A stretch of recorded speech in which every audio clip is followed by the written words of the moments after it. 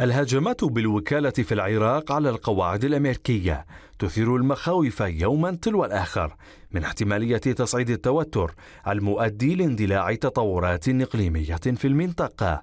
عمليات قد تنعكس سلبا وفق بعض القراءات لا سيما وأنها تتعاكس مع الموقف الرسمي. هنالك ربما في هذه الفترة الأخيرة علاقة نستطيع أن نقول هي ودية ما بين آه، سفيرة الولايات المتحدة الأمريكية وحكومة السيد السوداني.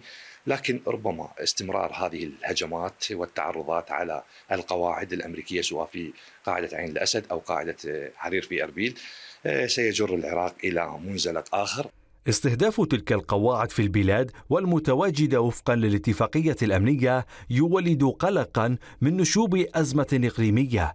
ويضع الحكومة في موقف حرج من منظار تحليلي لا سيما في ظل التأكيد على التزام العراق بحماية البعثات والقواعد الأجنبية. دخول الفصائل المسلحة في هذا الصراع ربما سيحرج آه، السوداني وربما سينهي حكومة السوداني وبالتالي حكومة السوداني هي حكومة تابعة لقوى الإطار التنسيقي وإيران ربما هي المستفيدة الأول من هذه الحكومة فهي لا تريد أن يتم يعني إسقاط هذه الحكومة. تصاعد الهجمات الصاروخية والطائرات المسيرة من قبل تلك الجماعات يسهم في اتساع نيران الحرب وإقحام العراق في دائرة صراع مكلف لا يرغب بالدخول فيها وفقا لتحالفاته الدولية وما أبرم من اتفاقيات أمنية واستراتيجية من العاصمة بغداد بدر الركابي التغيير.